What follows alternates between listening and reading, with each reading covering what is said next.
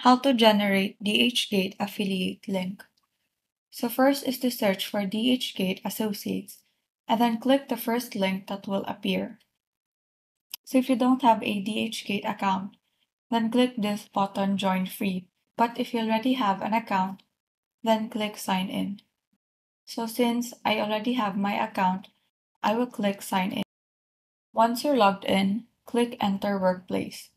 Once you're in the DHgate dashboard, once you're in DHgate dashboard, click all products which is found on the left portion of your screen. Enter the keyword of the product that you want to promote. So say for example, I want to promote a speaker. By scrolling down, you will find products that you can promote in your website or social media accounts. So in every product, you will see the product price and your commission. So it is important to select a product that will give you a good commission and that you are willing to promote this product.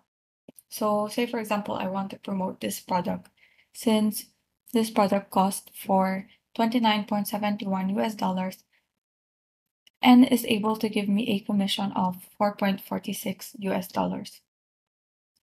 So just click this get link option and then select short link, which is the recommended, and then click generate.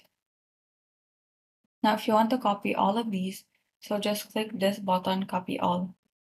But you can also just copy this link by clicking this only copy link option.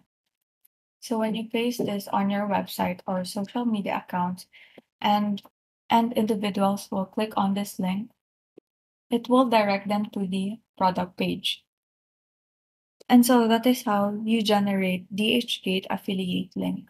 Thank you and have a great day.